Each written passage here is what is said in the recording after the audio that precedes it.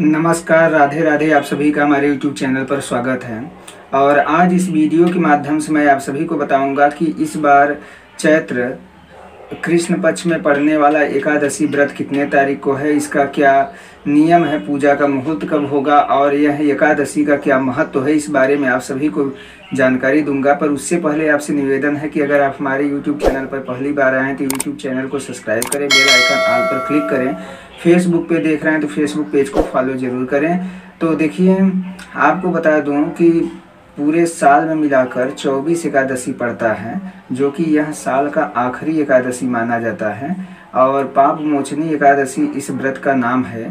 पाप मोचनी एकादशी का जो महत्व है, वह इस प्रकार से है कि अगर यह सब, वैसे तो सभी जितने भी एकादशी हैं, सबका अलग अलग अपना एक महत्व है, पर पाप मोचनी एकादशी का जो महत्व है, वह इस प्रकार से है कि जो भी इस व्रत को करता है और इसका विधि विधान से पूजन करता है तो उसके सभी पापों से मुक्ति उन्हें मिल जाती है और हर प्रकार का सुख समृद्धि उनके घर में सदैव वास करती है। यह व्रत भगवान नारायण माता लक्ष्मी को समर्पित है। इस दिन दोनों का ही पूजन विधि विधान से करना चाहिए। तो आइए आपको बता दूँ कि इस बार जो पाप मोचनी एकादशी चैत्र कृष्ण पक्ष में पड़ रहा है, वह कितने तारीख को है?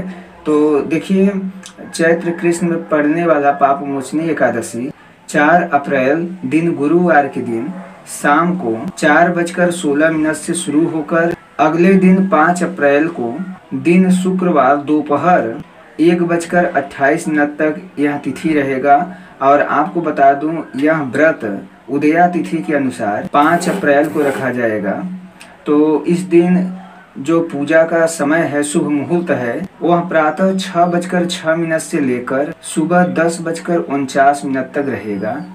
इस दिन ब्रह्म मुहूर्त प्रातः चार बजकर पैतीस मिनट से लेकर पाँच बजकर इक्कीस मिनट तक रहेगा। और व्रत पारण का जो मुहूर्त है, वह छह अप्रैल के दिन सुबह छह बजकर पाँच मिनट से लेकर सुबह आठ बजकर सैतीस मिनट तक रहेगा।